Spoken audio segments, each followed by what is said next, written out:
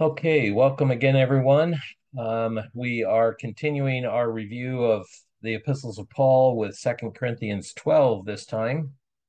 By way of recap, in Second Corinthians, Paul is covering a number of different things. The collection for the saints, he was encouraged by their response to his first letter and the changes that they made. Um, he is still needing to defend his ministry, if you will, his apostleship. And he does touch on that in chapter 10 and some of the sufferings that he went through in chapter 11. Um, he comes back to it here in a little bit different way in chapter 12, but he continues in this matter of what he calls boasting. Now, he's not really boasting, as we'll see as we go through this. He's actually using some sarcasm in here to make a point, um, and that can kind of get lost sometimes, especially in translation, literally. Um, so Second Corinthians 12 and verse 1, he says, It is doubtless not profitable for me to boast, um, meaning I don't know how much difference it'll make. And he'll explain as he goes through here. But he is doing this to, again, address these critics. Verse 2, he says, I know a man in Christ 14 years ago, whether in the body I don't know, or whether out of the body I don't know, but God knows for such a one was caught up in the third heaven.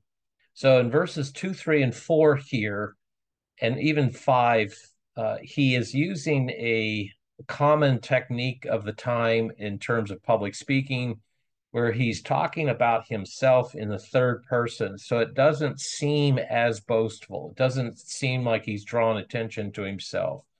Um, we even see this at times in our modern sense sometimes people will talk in the third person to a larger group and for the same reasons. So he says this happened 14 years ago. So based on the probable date of when Paul wrote this second letter to the congregation at Corinth, the 14 years ago would have been roughly around 43 AD. Um, and it would have been around the same time that he was in Jerusalem in Acts 22. He makes more of that account through Luke.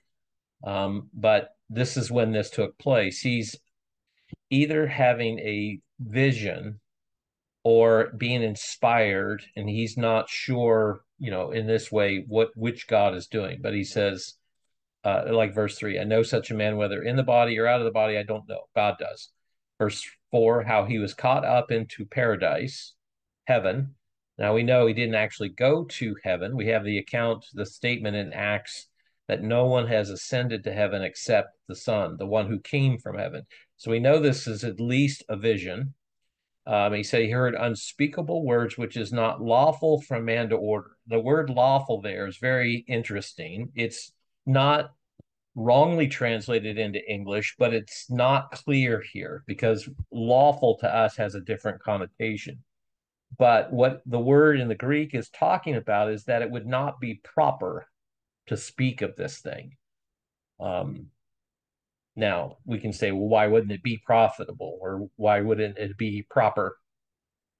And probably because it's not important. It's it's uh, maybe drawing again too much attention to Paul. Maybe it doesn't really address the things uh, that he's trying to address here. Uh, whatever the case may be, he says in verse five, "On behalf of such a one, I will boast." But on my own behalf, I will not boast except in my weakness. So he's saying, I'm I'm boasting, but I'm not boasting. And the reason why I would boast would be for my weakness. This is a similar statement he made in the last chapter that we looked at. And the reason he says this is that he knows, as he makes the statement, that when he's weak in the flesh, he is strong in the spirit. He knows what God is using these things for. So the boasting that he is doing is not because he was the one involved, but because of what God did through him. This is what he's focusing on as we see as we go through this here. So in verse 6, he says, For if I would desire to boast, I would not be foolish, for I speak the truth. It's it's no there's no brag, it's just fact. There was the old Western back in the early 70s that fellow used that statement I've always liked you know it's not boasting to the same degree if it's involving truth and this is again the point he's trying to make here and he's made previously as in the, this letter previous chapters in this letter he says but i refrain that is i refrain from boasting so that no man may think more of me than that which he sees in me or from me. So typically, when someone boasts, right, they're trying to draw attention to themselves. Look at what I am. Look at who I am. Look at what I've done, you know, and make this the pinnacle of whatever point they're trying to make. He says, I don't want that. If I'm desiring to boast, it's foolishness, right? We're we're making ourselves important.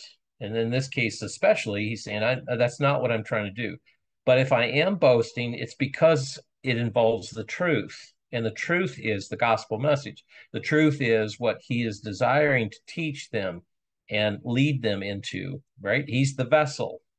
He even uses that analogy a little later. Um, that he's being poured out. So he's he's just the receptacle by which God can in which God can place his spirit and use him. So what he's essentially saying is here, forget what you hear of me watch what I'm saying and doing. Listen, excuse me, listen to what I'm saying, watch what I do. That, that tells us the character of somebody. We can talk as long as the day is, but at the end of the day, even humanly, we pay attention to what, what someone says and what they do, what, what they say and follow through on doing. And this is the point that Paul is making here. And, and again, in verses five and six, he's using a common Greek, what's called a rhetorical device, public speaking, where he's basically saying, I can say this, but I'm not going to say this. But yet he really says it, doesn't he? So it's this roundabout way, again, of trying not to appear too braggadocio, but yet nonetheless having to address the point at hand. So, verse 7 by reason of the exceeding greatness of the revelations, because God has used me in dramatic ways. We even read in chapter um, chapter 11 some of the things that he had gone through. And that might be sort of seen as a resume list, if you will. But he says, you know, God has done great things to me. You know, even to this point, he's already written uh, five or so letters that have been preserved for us. There are a number of others that are alluded to. You know, the going through Acts, the opportunities, if you will, that he had to go before rulers and kings and public audiences. You know, sometimes the press, our own press, can lead us down a wrong path. We start thinking this is because of me. Look what I've done. So he says, because God has used me in these very dramatic ways, notable ways, he says that I should not be exalted excessively. So that I wasn't exalted excessively, is what he's saying. There was given to me a thorn in the flesh, a messenger of Satan to torment me that I should not be exalted excessively. So he recognizes here that whatever physical limitation he had, we'll, we'll come back to that point here in a little bit. Whatever this was that was irritating, bothersome, limiting, whatever what happened to manifest itself, he recognized that God sort of put this governor on him so that he would not become vain and not become arrogant in what God was doing through him. So the comment there that I've underlined, a messenger of Satan to torment me. There's a great deal of speculation if you go through the various commentaries and such. Not that I'm recommending, necessarily you do, but they wonder what is this messenger of Satan? And I, I believe what he's doing here is using this as a metaphor, much like the affliction that Satan brought on Job it wasn't specifically that Satan did something, but Satan orchestrated, or Sa- Satan has uh, gone to God and said, you know, he, he'll only do this because you bless him, whatever the sort of things like we read in Job. Um, so it doesn't have to be direct, but nonetheless, um, that it was something that God allowed. And so again, he's making this point, I recognize this. Now, this may have been some of the criticism. This may have been individuals saying, well, we'll look at Paul, because even within the Jewish world, the thought at the time was, as even we read in the Gospels, if you had a major physical affliction, notable ones were either demonic possession that Christ would remove the demons, or the man, the probably the most famous ones, the man that was blind from birth. And even the disciples asked what sin he had committed or what sin his parents had committed. And Christ answered, none. You know, this was allowed so that I could do this. Um, so maybe the criticism was that because Paul had whatever this limitation was, what he calls a thorn in the flesh, that they looked at him as less than. He wasn't as spiritual, he wasn't as righteous, he wasn't as whatever. So he's he's just hitting it straight on here. So verse 8 then he says concerning this thing, this thorn in the flesh, whatever this affliction was, he says I begged the Lord 3 times that it might depart from me. So he pleaded with God. He went to God repeatedly. Now, if you go to Galatians 6:11 as he finishes that letter to the congregation at Galatia, he says there, he says, See with what large letters I have written to you with my own hand. And so some have said, well, maybe from Acts 9, and when he was struck down blind, God had allowed this thorn in the flesh to be something associated with his eyes. You know, we might think cataracts, or we might think whatever, double vision, or whatever it happened to be, but that he had written in larger than normal handwriting from Galatians 6:11 we read now, some will also go back and say, well, the messenger of Satan could have been a person, this thorn in the flesh. Well, that doesn't reconcile with Galatians 6 or sorry, 4 verse 13 because he says there, you know that because of physical infirmity, I preached the gospel to you at the first, physical infirmity. It seems that whatever it was was something physical, whether it was his eyes, whether it was something else could have could have been you know a chronic um, something that he might have been dealing with. Whatever the case was he says i begged god three times. Now the first two times he obviously got a no. And so the third time then he answers what he got back or right relays what answer he got back. So in verse 9 he says he has said to me right? He's begging god. So god has said to me my grace is sufficient for you, for my power is made perfect in weakness. This goes counter to ev- almost every culture. If you're seen as weak, you are less than. And this is where Christianity stands out. Weakness is not of itself notable, but if weakness is connected to God's power, then that's all the difference in the world because God can work with that. God will work with that. So my grace, my favor, my um, blessings, my reconciliation will work through this. This, this, whatever the this is, you know, it can be bad eyesight, it can be hearing loss, it can be a genetic weakness as we age, whether we, you know, get uh, problems with our bones or our back, or you know, it can be lack of strength. It can be diseases that afflict us. It, doesn't matter. That part doesn't matter because this life is not the life God desires for us.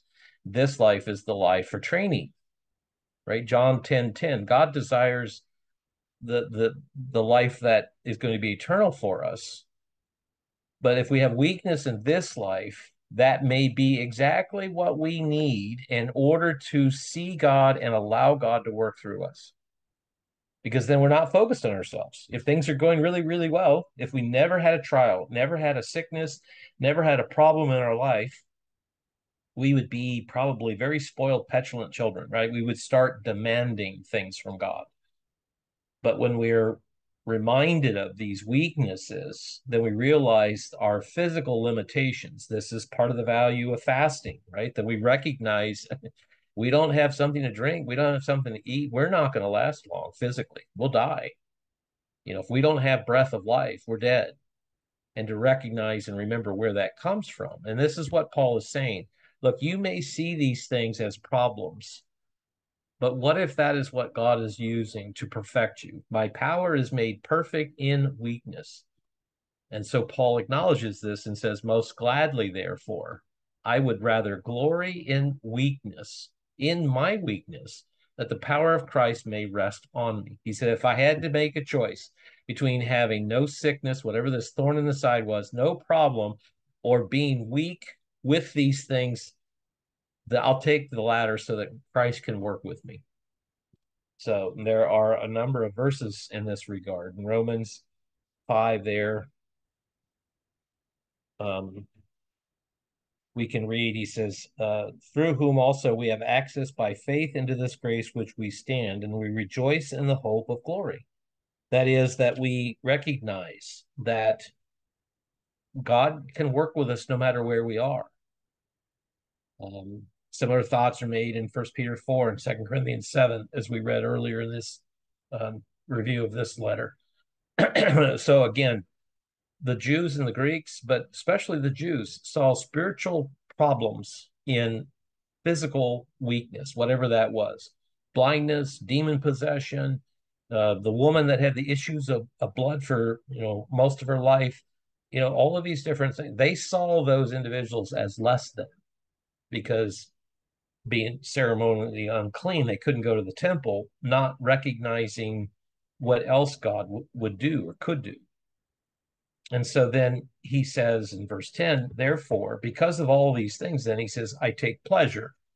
Now, pleasure is not sadom, uh, sadomasochism. You know, he, he's not he's not pleased in the pain. The pleasure there is something to choose. I would rather than choose weakness and injuries, in necessities, in persecutions, in distress, for Christ's sake, right? This is not because we get some sort of wrong thrill out of these things. Um, he says, if those things are there, I will I will choose that so that Christ can do what he needs to do. He says, For when I am weak, when I appear weak physically, when I'm dealing with these trials, tribulations, these physical problems, for when I am weak, then I am strong. And as I write there, this is a spiritually mature perspective because our focus is not on ourselves. This is kind of a theme, if you will, of what Paul is discussing here in Second Corinthians 12. The folk, if the focus is on us, and so many of the critics, that's what they were doing. They were trying to minimize Paul so they could exalt themselves, whether it was spiritually, whether it was physically, or whatever other way.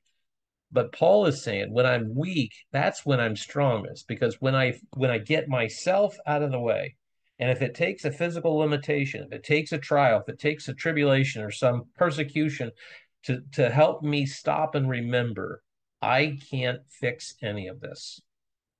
That's where all of us had to come to when we were baptized, wasn't it? I can't make myself have eternal life. I can't pay for my sins by myself without paying with it with my own life. I can't change my carnal mind to be spiritually minded. I can't do those things.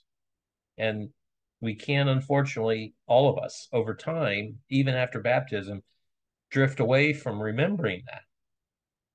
And so Paul says, if I have to choose, I will choose these things so I can stay strong in Christ. So, verse 11, he says, I have become foolish in boasting. All of this, he says. I shouldn't have to do any of this. But he says, You compelled me, for I ought to have been commended by you. For in nothing was I inferior to the very best apostles, though I am nothing. So, he's kind of taking them to task here, and he's reminding them of all that he's gone through here. He says, None of that was necessary. Because even going back up to what he said earlier, he said that you you know me. You should see what i'm doing right? This, this is what we we read earlier um in verse 6 especially. You know watch what i do listen to what i'm saying and make sure they reconcile and point to what what those things are. So he's saying the same thing down here. You compelled me to go through those things because you should have been defending me. You've seen me in action. You've heard my words back up with action. You've seen, as he'll get to here, you've seen Titus, you've seen the other brother, you've seen what we've done. I shouldn't have to be going through this and defending this. So he says, For in nothing was I inferior to the very best apostles, though I am nothing. Now, I take this verse a couple of different ways when he's talking about the very best apostles, because previously he had to denounce those who claimed to be apostles, and they weren't. And so if you read the commentaries here, they think that he's comparing himself to the 12. Now, he may be. Maybe that was part of the criticism that was directed his way. Well, you're you're you're the add-on. You're the 13th. You're not of the 12. You're not the ones that, you know, lived and walked with Christ.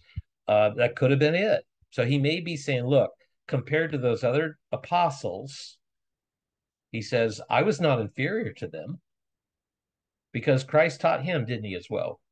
For three years in the wilderness, he got one on one training. But even if he's not talking about the 12, those who claim to be apostles, he said, even the very best of them, he says, I'm not inferior to them. Look at what God has given me. Look at what God has done through me. Look at what you have because of what God has done through me. So in either case, he's saying, I'm I'm not the stand-in here. I'm I'm not the plan B. I shouldn't have to boast on these things, but because you press the point, I'm just making sure you understand I'm not inferior to any of these guys. Now, this is not conceited bragging. This is again, as he said up before, it, I, I'm simply going to speak the truth in verse six. You know, I'm just stating, and that's not wrong because again, he knows the thorn in the flesh is keeping him in check. But that doesn't mean he shouldn't speak out for the truth. And in that, he says, I am inferior to no one when it comes to the truth which is a very powerful thing to consider. Now, God will give different ones different authority, different blessings, talents, whatever, in terms of preaching, teaching those things.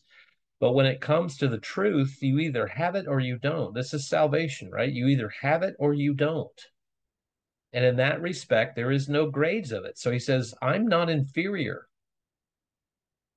Your calling is not inferior to my calling someone in a different congregation, even a different time in God's church. It's not inferior because the calling God has given us is the calling that everyone gets.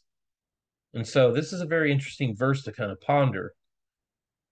He sounds like he's coming off pretty hard, and it's really just being direct.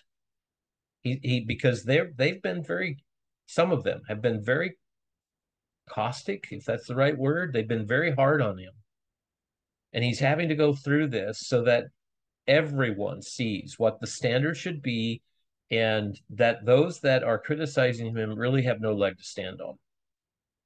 So, verse 12 truly, the signs of an apostle were worked among you in all perseverance. This goes again back up to verse 6, where he says, What am I doing?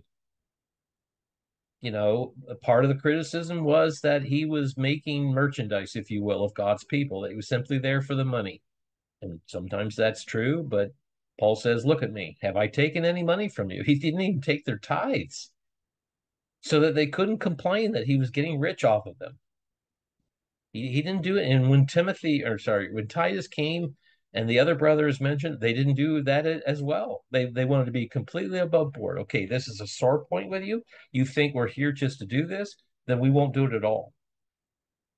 And they weren't doing it to sort of brag like he's saying here we did it for your sake okay if this if this is the stumbling block you know like he said earlier um in, in the first book about the meats if, if the meat is going to be stumbling if i if i go to a, a pagan temple and their market and buy a piece of meat he said if that's going to make you stumble then i won't do it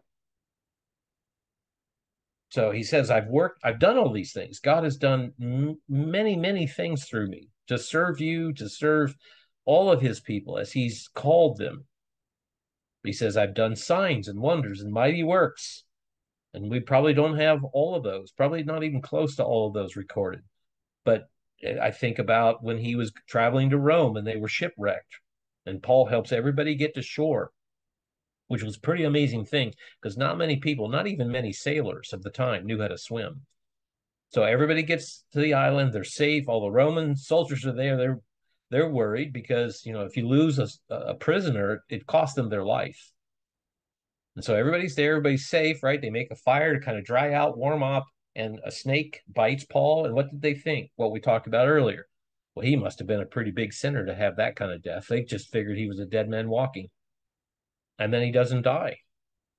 Yeah, that's pretty amazing thing. Then he's a, God allowed that so that Paul could have the attention, if you will, but also uh, the deference that would come from listening because if he survived something like that, then there must be something else going on. And that that's just one example. So these signs, these wonders, these mighty works, verse 13 then. He says, For what is there in which you were made inferior? What was it that made you inferior to the rest of the churches? So he's putting this back onto them. Okay, if you think I'm inferior, and by extension that makes you inferior because I'm not the best, right? I'm not the right guy. I'm not the one that should be here. I'm not the one that has the true title. If that's inferior, then what was it that made you inferior to the rest of the churches because of it? And it's a great question because then they have to answer, right? They have to take accountability. What was it we did? What was it that we prevented? What was it that maybe played into this that we're a part of? And in that regard, then they they have to look inwardly instead of just focusing. It's easy to make somebody else our problem. Right? Little kids, or why why did you hit her? Why did you hit your sister? Well, she made me so angry. No, she didn't make you anything. You chose to be angry. She might have done something wrong as well, but you chose. And we do that all the time. We want to blame other people. We want to blame the politicians. We want to blame businessmen. We want to blame blame somebody else. But where's the accountability in what we've done? And this is what he's saying here. He says, So, unless the burden is that I myself was not a burden. this is this is some of the sarcasm that Paul has gotten to in this letter that he's writing here. He says, "Okay, so you say you're inferior. Was it because I didn't burden yourself, burden you with myself? You know, I didn't I didn't take your ties. I didn't come in and make you do this or that for me. You know, no no one's been my slave, my chauffeur. You know, I, I haven't compelled you to do anything in this regard to take care of me." So he says, if I've done that, forgive me. I'm I'm sorry I was a burden to you. Now, have, you have to be very careful how you use sarcasm because it doesn't always translate well using the word, you know, meaning not everybody picks up on it, e- even if you're speaking the same language. But he's making this point here about inferiority. If if it was that I I didn't make myself a burden, would you have respected me more if I had done those things? And I would suspect I maybe the obvious answer would be yes, because it seems like whatever he did to serve them, they didn't appreciate. Um, and so then moving down to verse 14, he says, Behold, this is the third time I'm ready to come to you, and I will not be a burden to you. For I do not seek your possessions, but you. Meaning, what God is doing through you. I, I want you, right? Other writers talk about being jealous with a godly jealousy. Paul talks that way in the first letter as well. That his he saw part of his responsibility as being jealous of them for God's sake. His desire was for them to have eternal life, not their possessions. He, he didn't care about that. He says, For the children ought to not save up for the parents, excuse me, but the parents for the children. Paul says, you know, I'm like a spiritual father here, right? God used me to call you to eternal life, to hear the gospel message, to become a, a son or a daughter of God in, in this life so you could live in that for eternity. In that sense, he says, I fathered you. And as a father, I am trying my best to provide everything you need to succeed beyond me. That should be the desire of every parent instead of the parent saying, okay, well, all right, you're old enough to work, go out now. I don't have to cover all this stuff. You you can pay the electric bill, you can buy some of the food, you can at least pay rent, whatever. That's not the way it should be done. So he, he says, I have this love. Paul gets this bad rap of being such a hard, onerous, misogynistic person. He was not, he cared deeply for God's people. And you read sections like this that should come out he says, I'm not desiring your possessions. He's, you know, essentially saying, if I wanted that, I could have had that. I could have taken all that. But he says, verse 15, I will most gladly spend and be spent for your souls. If I love you more abundantly, am I loved less? He says, I'm not holding anything back here. But it seems the more I love you, the less I'm loved. which is a really sad thing to contemplate. That he, he didn't feel respected, he didn't feel honored, he didn't feel even the deference that should have come his way. And we have to be careful with that, right? Because the, human agents are not God right? I don't stand before or in between anyone in their relationship with God. I can't. I'm not responsible for that. And if I take that on, I'm doing them and myself a disservice. But he says there, there should be this reciprocity, right? I've sacrificed myself for you, for your spiritual edification. But yet seems the more I do that, the less you care about me. So in Philippians 2 and verse 17, he writes this to that congregation. He says, And if I'm being poured out as a drink offering on the sacrifice and service of your faith, I'm glad and rejoice with all of you. Now, I was having a conversation the other day with another pastor, and he was thanking me for some of the things I do outside of the congregations I serve. And I said, Well, I thank you.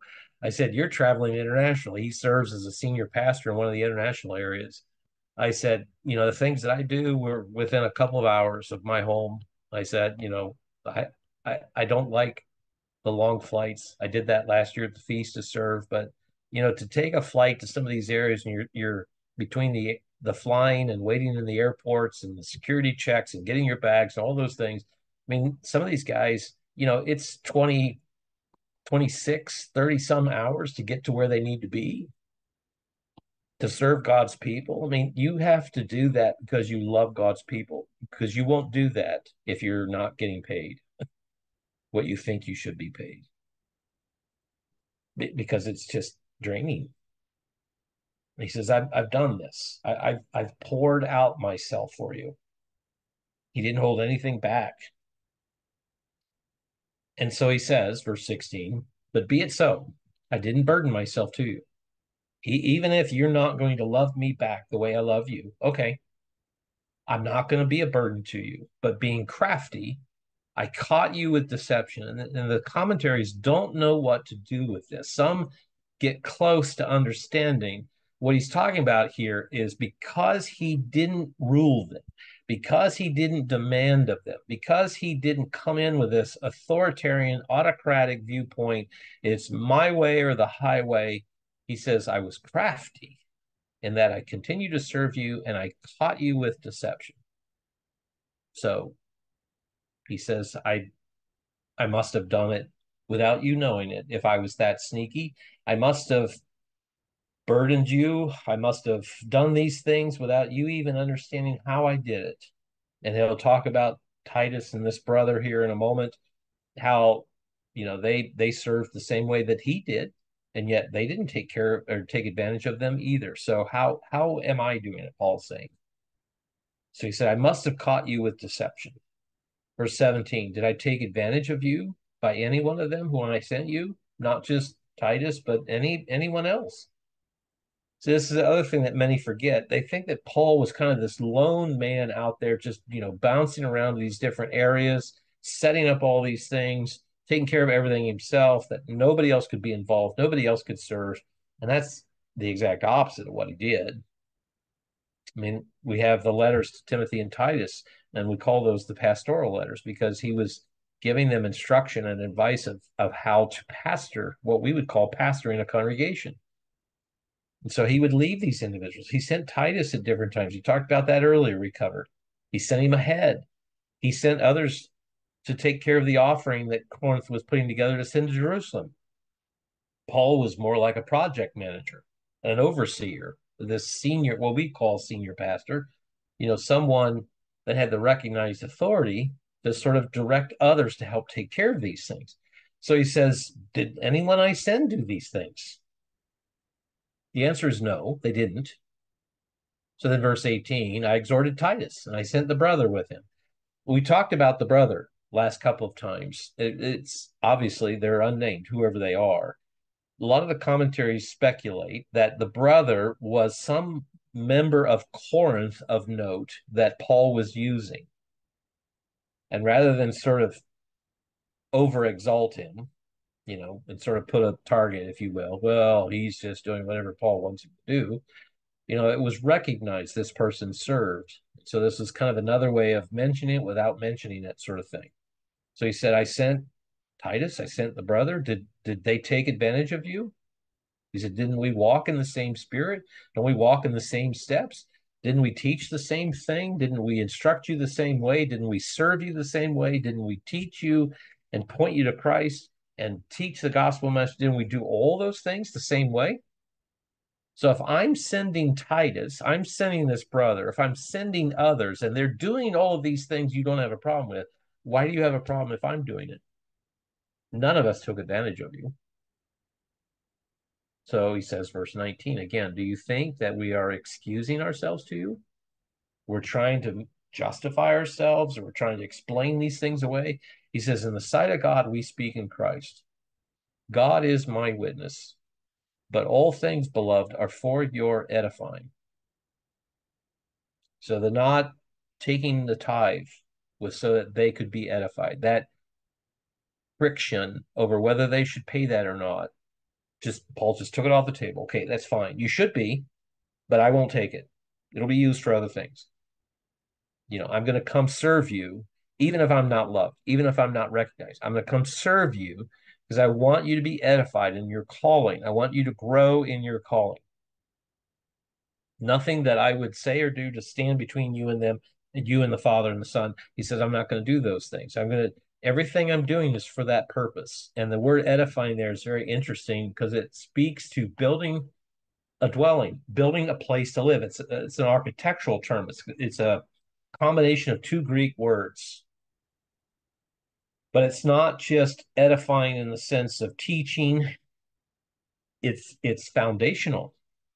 You're right. And in terms of a dwelling this is where we live. This is our home. This is our safe place. This is where we put the things we prize. This is where we have family. But he says in all things i'm doing this so you are built up to be able to dwell with christ he says, For I'm afraid that by any means, when I come, I might find you not the way I want to. He wants to find them thoroughly excited about God's way of life and doing everything they can with Christ living in them to exemplify him. He says, That's what I want to find. But he says, I'm I'm afraid that that might not be the case. And he says, and that I might be found by you as you don't desire. So going back to the first letter there in First Corinthians 4, he says essentially, look, do you want me to come and be a taskmaster? Do you want me to come like I had whips or rods and I'm just beating you to do what I want you to do? He says, that's not how I'm going to come. But he says, I may have to come and be hard, that by any means there would be strife. He says, this is what I'm concerned about, that you may not be the way I'd want you to be, that I know you should be, and it, that it may be found that you don't like how I'm coming because of these things. Right? So he mentions strife and jealousy and outbursts and anger and factions and slander, whisperings, proud thoughts and riots. I mean, these are some pretty pointed words in terms of behavior and character. Um, because again, they, they should be about the business of spiritual change and growth. So what's interesting to these to me with these words here is that they are not the same list, if you will, that we find in First Corinthians, I'm sorry, in Galatians 5, the works of the flesh that are there. But they produce the same thing, don't they? So if we were to break down each of those words, and these words are very close, I mean, they're good. There's nothing here that I would challenge in a negative way. But the limitations of any time translating from one language to the other is you lose some nuances. And so if we go through this, you know, strife is quarrels or debates or wrangling. Have you ever had a conversation with someone where they're wrangling over some minutia of what they think should be done spiritually? They may be right, but usually, in my experience, they're wrong. But the strife that that creates this this wrangling over things and it, it begins to create division doesn't it? Or at least stress. Jealousy there in the greek has a meaning of envy that you're that yes, you are jealous, but not just jealous. You want it. So whatever it is, but you haven't done the work for it or it wasn't given to you. But that jealous then changes the relationship, doesn't it? I don't like you because you have what I want. It's not that I want it, and I'm, I'm, come, I'm going to come to you and say, "What do I need to do so I can have that?" I'm jealous because I don't want you to have it. I should have it. So this priority that I'm better and I should have it. You're not as good. This is part of what Paul touched on earlier. Outbursts of anger is wrath. And we don't use the word wrath much in English. It doesn't have a depth of understanding. But in the Greek, it, it has a meaning of this um, not just hard breathing, but have you ever heard like a horse or a cow when there's something they don't like, they'll make this kind of thrusted exhale. And and if you know animals, there's something going on. They don't like something, you're creating a concern, they're worried, they don't like what's going on. And so this is outbursts of anger. It's this forced exhale that you're not happy. And it's not just that you're not happy, this anger that's associated with it. You've become short tempered, you've become impatient, you've become judgmental, and and it it presents itself as this anger, but it's this kind of anger. I, I'm I'm not going to deal with that. I'm going to whatever. So then the next here is factions. Um, and in this, the Greek has the meaning of intrigue or contention. Contention in the sense of uh, of of gaining something, of self-seeking. So this faction is that we're divided because of what I want. And it connects to these other things, though, doesn't it? All of these connect to each other because it's wrong thinking, wrong attitudes. So then we have slander. Slander we're more familiar with, right? We're saying something untrue about someone in the hopes or the desire that we have other people see them in this negative light as well. Right? We we can't argue the facts, so we're going to malign their character. Slander is just awful. This is in the Greek also has meaning of backbiting, of defamation, which we understand there but you're going behind people, which is also with whisperings. Whisperings is slander as well. It has to do with um, this gossiping, right? We're not going to the individuals. We're told in Matthew 18. We're not going and saying, look, there, there's we've got some stuff between us we need to talk about. We need to figure this out so that we can walk together instead of being at odds here. Right? That is such an important thing in God's view because of the attitudes that it creates negatively that he even said through Christ, right? If this is if this is something that you recognize, you remember as you bring an offering that you have this division, leave the offering, go take care of the relationship, fix what needs to be fixed so that everybody is the family again properly, then come back and do your offering. Because he says that's more important. If if you don't have those relationships, the offering's meaningless. You're just you're just going through the motions. And the whisperings are dangerous, right? Because we create these, we even say this, these whisper campaigns, right? We're not addressing it head on. We're not being honest in our conversations. We're, we're kind of, well, did you hear the latest? Can you believe this? Sort of thing. And again, it's dangerous because it it goes down a path of maligning someone. And and sometimes they don't even know what's going on. And then proud thoughts. Proud thoughts have to do with this matter of haughtiness. And we have a number of scriptures that speak to this. Jude really gets into this in his letter, in his short one chapter letter as he wrote. This was he he called this the uh, the ungodly men.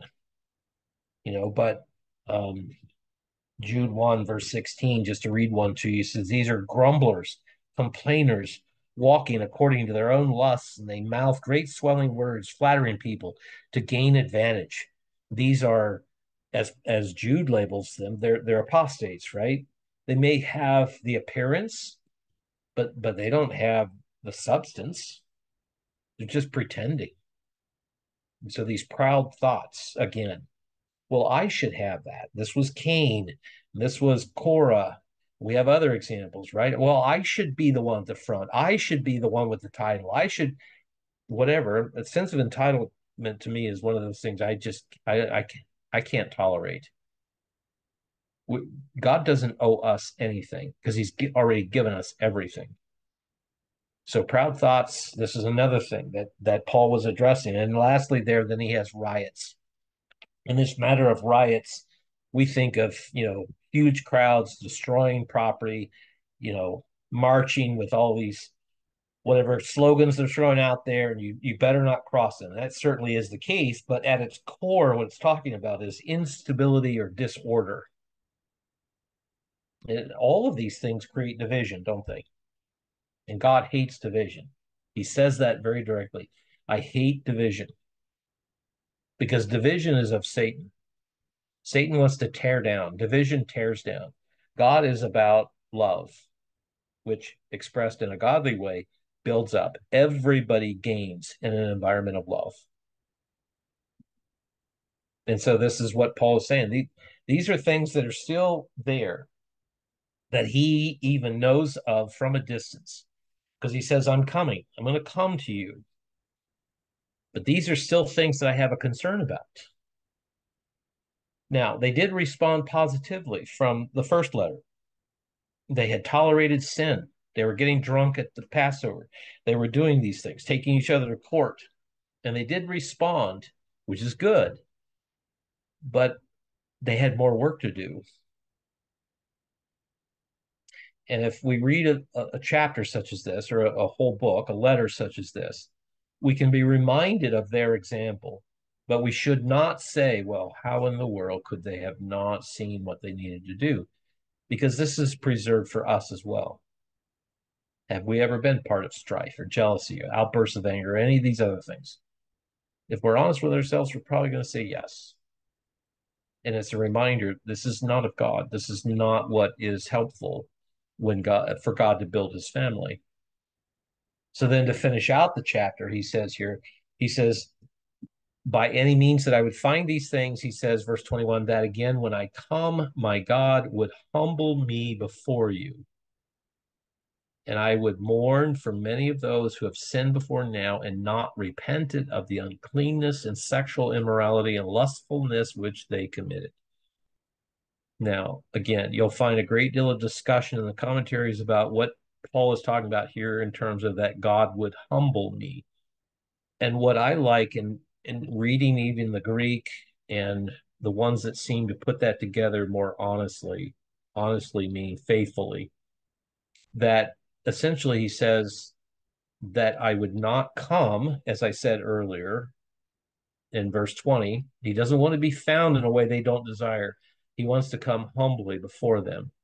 And in that respect, going back earlier in the letter, he said that he he came to them with tears and weeping.